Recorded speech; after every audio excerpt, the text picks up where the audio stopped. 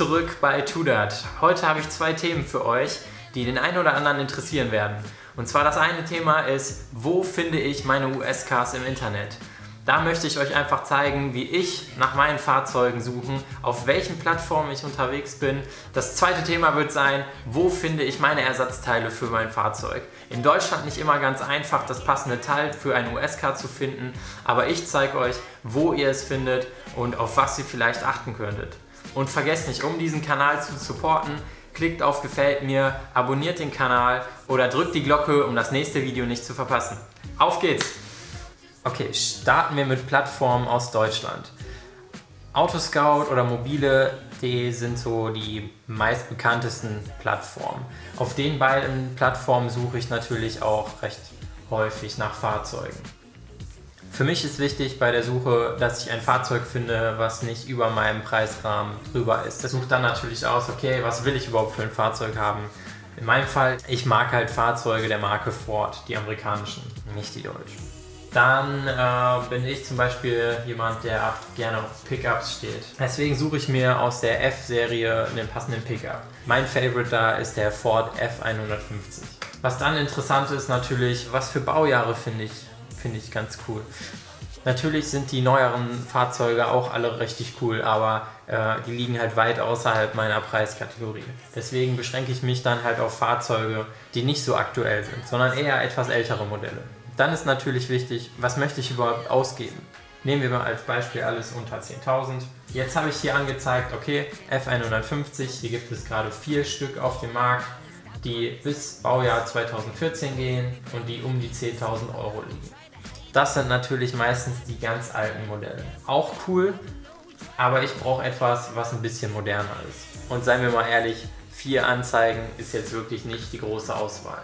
Wie ihr in einem meiner anderen Videos gesehen habt, suche ich meine Fahrzeuge eigentlich immer im Ausland, im EU-Ausland. Meistens in Holland oder Belgien. Da vergrößert sich natürlich meine Trefferquote an Fahrzeugen, die vielleicht passen können. Deswegen suche ich meistens in Europa.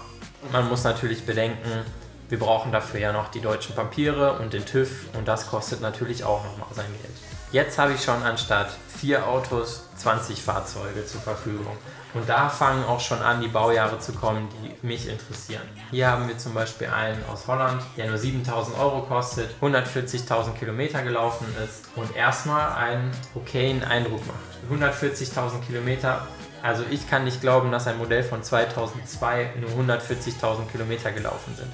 Das sind oftmals Meilen und da kann man eventuell wenn Bilder vom Innenraum vorhanden sind und vom Dashboard, kann man schon sehen, okay, ähm, anhand des Tachos die außenliegenden Ziffern, wenn man erkennt, okay, das sind Meilen und die innenliegenden Ziffern, das sind Kilometern, dann heißt das, dass das Fahrzeug in Meilen gelaufen ist. Und dementsprechend notieren manche im Internet dann die Angaben, das sind eigentlich Meilen. Wenn ich ein Fahrzeug suche, was mir gefällt, dann achte ich weniger auf die Kilometerlaufleistung, sondern eher auf den allgemeinen Zustand. Wie schaut das Fahrzeug optisch schon mal aus? Denn die Motoren sind einfach nicht kaputt zu kriegen. Und deswegen ist die Kilometerlaufleistung eher zweitrangig. Wenn man immer einen guten Service macht von dem Fahrzeug, Ölwechsel, Ölfilterwechsel, ähm, die Steuerketten mal alle 100, 100 bis 150.000 Kilometer reichen bei diesem Fahrzeug aus. Wenn man die wechselt, dann ist man eigentlich auf der sicheren Seite. Und da kann auch ein Fahrzeug mehrere hunderttausend Kilometer gelaufen sein. Mein altes Fahrzeug hatte zum Beispiel 290.000 Kilometer auf dem Tacho. Ich habe einfach nur Ölwechsel machen müssen, die Steuerketten gewechselt, ähm, was ziemlich einfach bei diesen Modellen ist. Und der Motor lief einfach einwandfrei. Natürlich sind das etwas ältere Fahrzeuge, bei denen ist immer mal was dran, aber selbst hier deutsche Fahrzeuge, Mercedes, BMW oder sonst was, mit den Baujahren haben manchmal ihre Probleme und brauchen da ihre Ersatzteile. Genau das gleiche mit den Amis. Wichtig ist noch bei der Suche, dass wenn ihr ein Fahrzeug gefunden habt, was im Ausland liegt, lasst euch nicht von der Optik täuschen, wenn da irgendwie eine Bulba dran ist oder äh, irgendwelche Zusatzscheinwerfer, andere Chromfelgen, die 24 Zoll oder sonst was haben. Ähm, die sehen zwar cool aus, wird aber schwierig mit der TÜV-Zulassung. Deswegen guckt, dass ihr einfach ein Basic-Fahrzeug findet, was ausschaut wie ein Originalmodell, was nicht so stark verbastelt ist. Wenn man so ein Fahrzeug importiert und umbaut und über den TÜV bringt, abgesehen vom technischen Zustand, die Dinge, die man daran ähm, erledigen muss, da liegt man, wenn man es selber macht, so um die 600, 700 Euro. Wenn man das jemanden machen lässt, ähm, liegt man ungefähr bei 1000 bis 1300 Euro, die natürlich dann noch auf den Kaufpreis oben drauf kommen. Aber wie gesagt, man hat mehr Auswahl, wenn das passende Fahrzeug dabei ist und der Preis gering ist, dann ist der Mehraufwand, den man dafür betreiben muss, um ihn in Deutschland zuzulassen, jetzt auch nicht der größte. Also die Suche, die ich jetzt hier gemacht habe, die funktioniert natürlich auch auf anderen Plattformen hier aus Deutschland. Seid einfach ein bisschen offener, denn US-Fahrzeuge sind halt rar in Deutschland oder in Europa und deswegen findet man nicht, vielleicht nicht immer genau das perfekte Fahrzeug. Es sei denn, man hat die Zeit und hat keinen Stress bei der Suche. Ein weiterer Tipp von mir ähm, ist eBay Kleinanzeigen. Klingt jetzt vielleicht blöd, aber dort findet ihr viele Fahrzeuge hier aus Deutschland äh, und viele Ersatzteile für euer Fahrzeug. Ihr habt hier oben die Suchleiste, da gebt ihr einfach ganz normal eure Modellbezeichnung ein. Ähm, in meinem Fall ein Ford F150 und dann kriegt ihr an der Seite Kategorien gezeigt. Wir suchen jetzt gerade nach einem Fahrzeug, deswegen schauen wir unter Autos nach und dort können wir an der Seite links äh, ein paar Parameter eingeben, die uns wichtig sind beim Kauf, was wir gerne hätten ich lasse das jetzt mal hier so offen. Jeder kann ja selber schauen, was ihm passt. Aber man sieht, okay, einige Fahrzeuge dabei, die aus Deutschland kommen, äh, von jeder Baureihe eigentlich. Und ähm, die sind auch im Gegensatz zu Autoscout und Mobile oftmals auch ein Ticken günstiger ähm, von den Preisen her. Okay, aber was ist, wenn mein Budget noch geringer ist, äh, ich trotzdem aber nicht darauf verzichten möchte, ein amerikanisches Fahrzeug zu fahren? dann gibt es eigentlich nur die einzige Möglichkeit, das sind Fahrzeuge aus dem Ausland. Ich suche meine Fahrzeuge, wie gesagt, in Holland und Belgien. Mein Geheimtipp ist eine Seite, die ziemlich alle Seiten, die es in Holland gibt, ähm, auf einer Seite kombiniert. Das heißt, ihr gebt nur einmal ein, was ihr sucht und ihr kriegt dann auf ähm, und ihr bekommt dann die Ergebnisse von allen anderen Seiten auch zu sehen. Die Seite nennt sich gaspedal.nl. Ich selber kann kein Holländisch, aber ich glaube, die meisten Einstellungsmöglichkeiten sind eigentlich schon selbsterklärend, weil sie nicht viel anders sind als die bei uns in Deutschland. Ich suche meine Marke aus. Hier unterscheiden die meisten Plattformen im Ausland unter Ford und Ford USA, zum Beispiel bei meinem Fahrzeug. Ähm, wir wollen natürlich ein Ami haben und deswegen suchen wir unter Ford USA, suchen unser Modell raus und mehr gebe ich meistens nicht ein. Natürlich werden uns die besten äh, Modelle hier angezeigt, aber die Preiskasse kann selbst ich nicht zahlen und deswegen suche ich meistens vom Preis von niedrig nach oben. Und schon sehen wir, okay, wir können hier einen F150 für unter 5000 Euro bekommen. Hier sehen wir einfach schon mal, okay, hier kriegen wir viel mehr Auswahl als in Deutschland und es sind auch ein paar coole Fahrzeuge dabei. Viele der Fahrzeuge aus Holland haben natürlich eine Gasanlage verbaut. Bei manch einem älteren Modell wird dabei eine Gasanlage verwendet, die wir leider hier in Deutschland nicht eintragen können. Deswegen ist es immer ein gutes Zeichen, wenn wir nach LPG G3 suchen.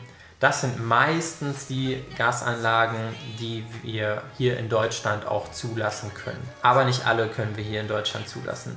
Deswegen schaut einfach bei der Suche nach, wenn ihr vor Ort seid. Guckt erstmal, dass ihr die Papiere einsehen könnt vor Ort, dass ihr ähm, die Gasanlage ähm, euch notiert, was für ein Modell ist das. Wenn ihr schon einen Einblick in den Motorraum bekommt, guckt danach, ob ihr irgendwelche E-Prüfzeichen auf der Gasanlage findet, das ist meistens schon mal ein gutes Zeichen, dass ihr später keinerlei Probleme bei der Zulassung bekommt. Wichtig ist noch, wenn ihr diese Fahrzeuge sucht, wir sehen hier, ähm, dieses Fahrzeug kostet 8500 Euro. Bei vielen Fahrzeugen kommt da drauf nochmal die holländische Steuer. Das sind 21 Prozent in Holland, ähm, die dann nochmal on top kommen. Das Ganze nennt sich BTW bei denen, also die Mehrwertsteuer. Ähm, wenn ihr in der Anzeige findet, exklusive BTW heißt das, dass auf den Kaufpreis nochmal die 21% Steuer oben drauf kommt. Das wird oftmals hinter dem Kaufpreis notiert, damit jeder Bescheid weiß, okay, da kommt nochmal 21% Steuer oben drauf. Okay, das waren meine Tipps, wie ich nach Fahrzeugen im Internet suche, gerade im Ausland. So, jetzt das zweite Thema. Wo finde ich passende Ersatzteile für mein Fahrzeug? In Deutschland nicht ganz einfach, Teile für deinen USK zu bekommen. Natürlich gibt es die ein oder anderen Seiten hier in Deutschland, die Teile verkaufen. Die sind meistens aber etwas teurer als in den USA. Früher habe ich meine Sachen einfach bei ebay.com in den USA gesucht und dann über einen Importeur, der in den USA sitzt, nach Deutschland verschicken lassen. Das hat meistens nochmal so 10% Provision gekostet, war aber dennoch etwas günstiger als manch ein Anbieter hier in Deutschland.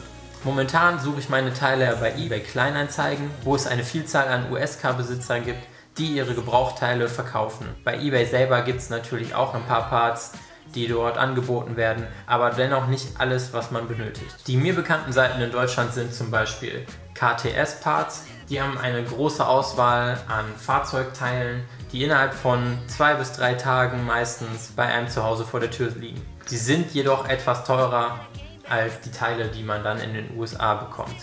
Oder zum Beispiel Mike Franks.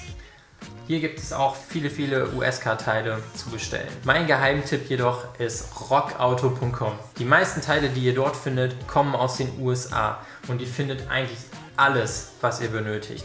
Von der kleinsten Dichtung oder Schraube bis hin zu großen Teilen. Bei Rockauto braucht es maximal drei bis sieben Tage, bis deine Sachen, die du bestellt hast, bei dir zu Hause ankommen. Also ziemlich flott, finde ich. Das waren ein paar meiner Anlaufstellen, wenn ich nach Fahrzeugen suche oder nach Ersatzteilen. Ja, ich hoffe, ich konnte dem einen oder anderen heute ein bisschen weiterhelfen äh, bei der Suche nach seinem USK. Ähm, wenn euch das Ganze gefallen hat, drückt auf Gefällt mir, schreibt mir in den Kommentaren, was ihr davon haltet oder was ihr mal interessant findet. Abonniert den Kanal und klickt auf die Glocke, um das nächste Video nicht zu verpassen. Vielen Dank fürs Zuschauen. Ich hoffe, wir sehen uns das nächste Mal. Bis dann. Ciao.